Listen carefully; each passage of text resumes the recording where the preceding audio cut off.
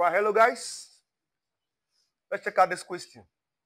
It says simplify five whole number 1 over 4 divide by, open up a bracket, 1 whole number 2 over 3 minus 1 over 2.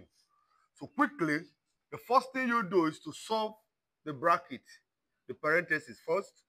But before then, let's convert them to improper fraction. 4 times 5 give us 20 plus 1, 21 over 4 divided by 3 times 1 plus 2 give us 5 over 3 minus 1 over 2. So we work on the parentheses first. So here you have 21 over 4 divided by this, what LCM here, LCM is uh, 6. 6 into 3 is 2. 2 times 5, 10. 6 into 2 is 3. 3 times 1 is 3.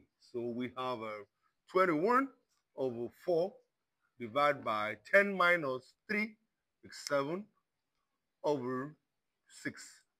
All right, so what you do next is to flip this. So when you do that, you have 21 over 4 times 6 over 7. So this one, this here, 3, okay? So this is 2 here, I have 2, 2 here, we have a uh, 3. So we have 3 times 3, we have 9 over 2, which implies what?